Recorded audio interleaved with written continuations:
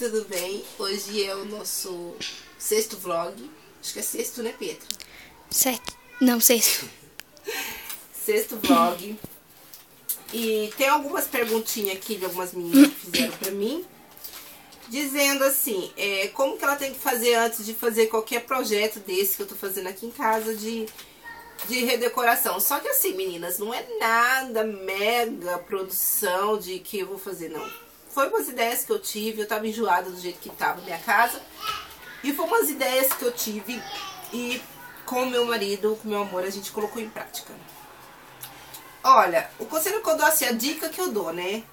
Antes de você fazer qualquer projeto na sua casa, primeiro você vai ver direitinho tudo que você vai fazer.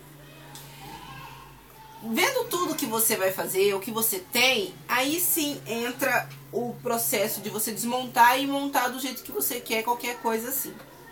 Eu tava querendo mesmo fazer um closet, colocar umas gavetas na parede, porque eu acho que fica bem legal. É uma decoração alternativa e que é bacana porque muda um pouco, sai do padrão um pouquinho. Então, é, um, dois, né? Ver tudo que você pode aproveitar na casa para não desperdiçar dinheiro. Terceiro, tentar comprar só o necessário.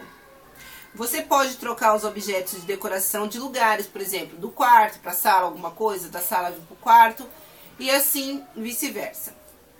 Quinto, você pode, se você tem uma parede sem graça na sua casa, você pode revestir com tecido, com contact, com papel. Tem no Google, você colocando lá como decorar a parede, vai aparecer milhões de dicas. Então, é super simples.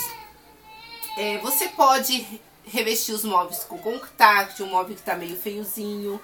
Você pode fazer várias coisas, colocar quadro, tirar quadros, fazer várias coisas que vai ficar bem legal.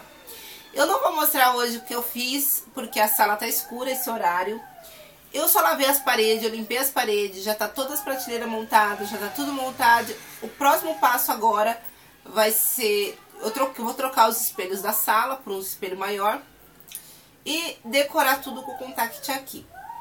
É, eu vou ver direitinho quantos metros de contact eu vou comprar, vou pesquisar o preço. Como eu disse, eu não quero fazer uma, uma decoração que gaste muito e que eu fique endividada com isso. Eu vou fazer o que está dentro do meu orçamento, tá? Então essa é a dica para vocês, meninas. Se vocês querem mudar, muda, mas primeiro vê direitinho o que, vocês vão aproveitar, como vocês vão fazer isso daí, para depois não se arrepender, né? Então é isso. Um super beijo e obrigada pelo carinho de todos.